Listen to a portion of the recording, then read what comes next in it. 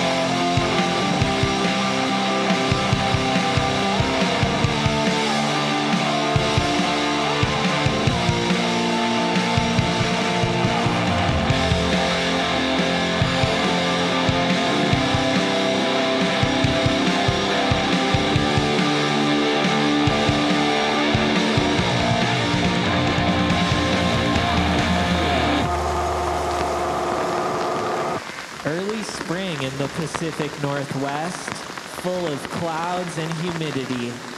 Every day I learn something new. Today, I'm learning how to deal with constant rain. The forest floor is completely saturated. My clothes are wet. This is exactly how I want to live, connected with nature. Today, I'm making orange chicken with green beans and rice for dinner.